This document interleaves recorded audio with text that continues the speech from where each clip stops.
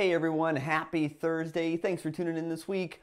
I'm Waller's Wallet, and a couple months ago, I was asked if I would compare the Chase trifecta against the American Express trifecta. So today, we're gonna have ourselves a little credit card battle to see which set of credit cards comes out on top. Now, there are a few variations of the Chase trifecta, but the trifecta we're gonna be using today includes the Chase Sapphire Reserve, the Chase Freedom, and the Chase Freedom Unlimited. Also, for the American Express trifecta, we're going to be using the American Express Platinum, the American Express Everyday Preferred, and the American Express Blue Business Plus. So let's start off with the sign up bonuses. Now we're going to look at the public offers on these cards and remember you can find better American Express offers by going through a private browser. Now all of these bonus spending requirements are in the first 90 days of opening your credit card. Looking at the Chase credit cards first, the Chase Sapphire Reserve has a 50,000 point bonus when you spend $4,000.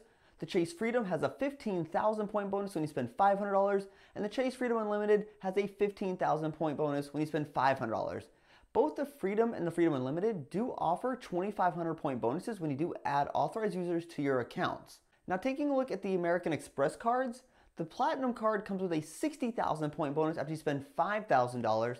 The Everyday Preferred has a 15,000 point bonus when you spend $1,000, and the Blue Business Plus currently is offering a 10,000 point bonus when you spend $3,000. And this round goes to Chase, and that's because you're gonna earn 85,000 bonus points for a $5,000 total spend when you add authorized users, compared to American Express where you'll earn 85,000 bonus points for a $9,000 spend. Now let's take a look at the bonus restrictions. Now I'm pretty confident most people know about Chase's 524 rule, but if you don't, Chase's 524 rule is if you've opened five or more credit cards from any bank in the last 24 months, Chase is going to deny you for one of their ultimate reward earning credit cards. They will count cards against you where you are an authorized user, but they will not count business credit cards towards your 524 total.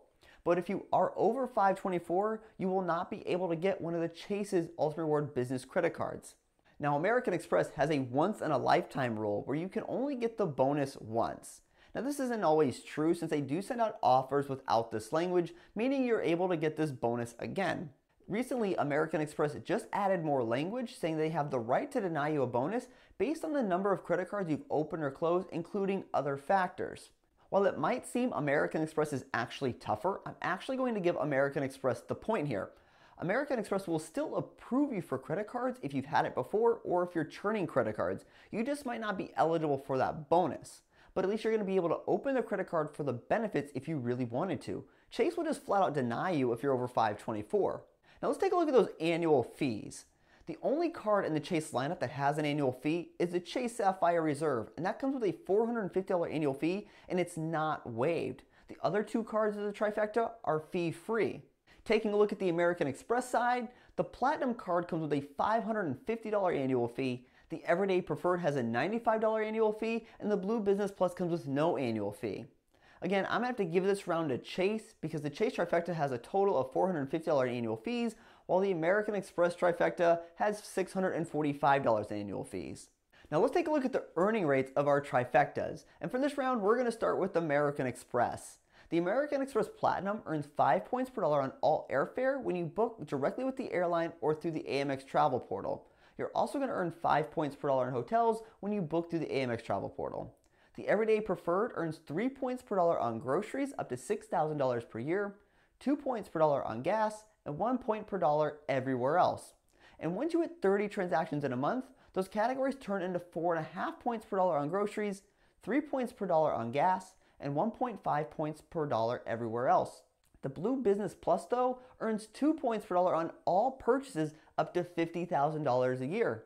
Looking at the Chase trifecta, the Sapphire Reserve earns 3 points per dollar on all travel and dining. The Freedom earns 5 points per dollar on rotating categories, and the Freedom Unlimited earns 1.5 points per dollar on all purchases. And I think the key piece to this round really lies with the American Express Everyday Preferred. The 30 transaction multiplier is great, but you're going to be using your Blue Business Plus for your non-bonus spend. So it'll take a lot of transactions on gas and groceries to hit that 30 transaction mark, which I really think is a stretch for most people unless you're using this to make low value transactions to hit your 30 transaction requirement. And if you can't hit that 30 transaction mark, you're basically paying $95 for a card that earns one point per dollar more at the grocery store. For this round, I'm actually going to call it a split.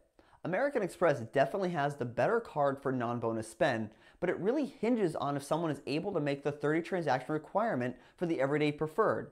If so, the American Express rotation will win out over the Chase rotation. If you can't hit that 30 transaction mark, I'm going to give it to Chase. Let's take a look at combining our points, and this is definitely worth looking at since both of these programs are different.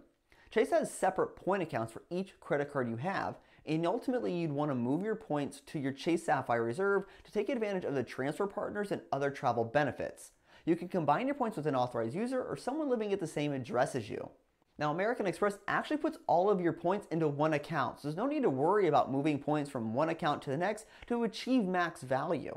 You won't be able to pool your points with another person though, but if someone is an authorized user on your account, you can actually move your points to their frequent flyer program.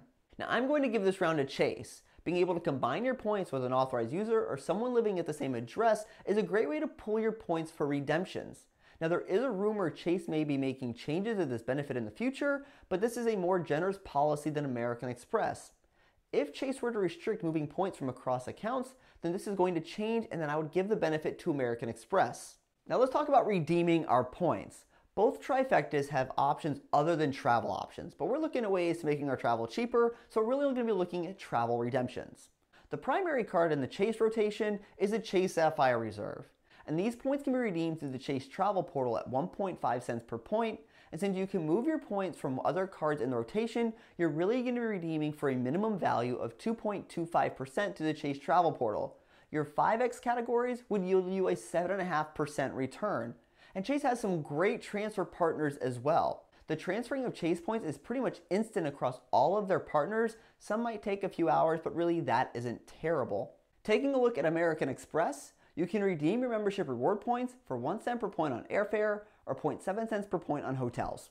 And I really think this needs to be reevaluated by American Express because these values are just not competitive enough with their competition. American Express does have a lot of valuable transfer partners, and I am not a fan of American Express pushing the excise tax to their customers to transfer to domestic airlines. Some partners do take a couple of days for your points to post, which is not great, especially if you found award space that you needed sooner than later. It does take a little bit more work to get the most value from these points when compared to ultimate reward points. I made this decision when I compared the Sapphire Reserve to the Platinum card, and even though American Express has more transfer partners, the Chase Sapphire Reserve's ability to book through their travel portal at 1.5 cents per point and their transfer partners gives them the win here in this category. Let's take a look at the other benefits of these cards. The Chase Sapphire Reserve comes with primary auto coverage, great travel protection benefits, lounge access, TSA pre-checked or global entry credit. The Reserve also comes with a $300 travel credit, which you receive once per card member year, and the fee-free cards really don't have any benefits worth mentioning. Chase does have their own shopping portal though, which helps you earn even more Ultimate Reward points when you shop online.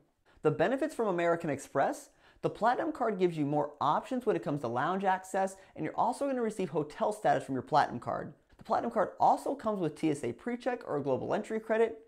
You're going to receive $200 in airline credits. You also receive Uber credits and a Saks Fifth Ave credit. You're going to be able to redeem your airline credit twice before paying your second annual fee, and these are just some of the larger benefits from American Express. While American Express may have just recently devalued their American Express offers, all three of these credit cards come with access to them. This is a great way to earn extra points or save even more money. American Express wins this round since you're going to receive more credits as well as receive status benefits. Although Chase does have better travel protection and you have access to the Ultimate Rewards shopping portal. So which trifecta wins? For me, I think the Chase trifecta comes out on top. The fact the annual fees are lower comes with great earning rates, solid transfer partners, and more value when redeeming through the Chase travel portal, Plus, you can earn even more points when you shop online through the Chase shopping portal. American Express definitely has the better benefits and probably one of the best non-bonus spending cards on the market with the Blue Business Plus. I think the big downfall of American Express membership reward program is the underwhelming value outside of their transfer partners, the higher annual fee for their trifecta, as well as lack of point pooling. So tell me, which credit card combination do you think is the best?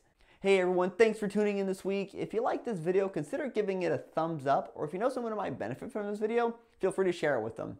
Remember, I post new videos every Thursday, so if you like learning about credit cards, points, miles, cashback, or just flat out traveling for less, consider hitting that subscribe button down below, and I'll see you all next week. Safe travels and take care.